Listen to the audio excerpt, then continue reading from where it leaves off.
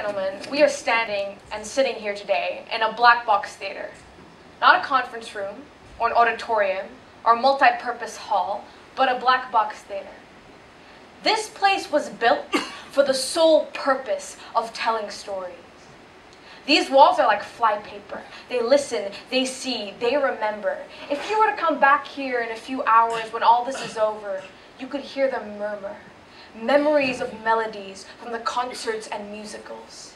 You would see streaks of something ineffable seep from the walls, spotlights, from the time this place became the sea, dozens of undulating bodies becoming the waves that brought a nation to dust, that brought two strangers to the shores of Illyria. You would catch whispers of backstage exchanges and light-headed laughter, of anecdotes and poetry and the stories of the quieter kind. When the raconteurs have shed their stage presence and are splayed out in the seats, feet up on the backrests, little pocket universes leaking from their lips, long after anyone is left to hear them.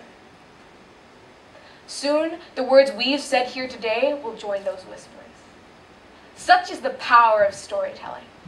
Such is the power of art, too, for though some may argue, most will agree the two are one and the same. And yet, though we are content to marvel at this art and sing its praises in abstract and concept, when it comes down to it, I think we're a little more complacent. As anyone, when visiting family or long-lost friends, I dread that dreaded question. So, what do you want to be? And I almost never tell the truth because let me tell you how they reply me. An artist? You're too clever to be doing art. Or, an artist? You can do better than being an artist.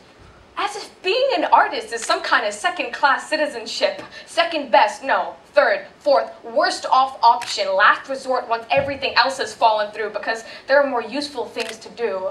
Second best? Telling stories is second nature to us.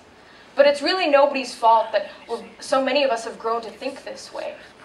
Not when, in even the IB diploma, the program priding itself in breadth and balance of education, the arts is still the only field you can drop without restriction. Not when there are colleges and universities who require it be dropped and some other more useful subject be taken up if you want to get that degree and do that thing you love, not when there's this perpetuated notion that storytelling is something we only do for children, that the theater is a luxurious, frivolous entertainment, that painting is no longer as valuable now that we can take photographs with the things in our pockets, not when though we don't dispute the value of art, we still let it become harder every day to do it.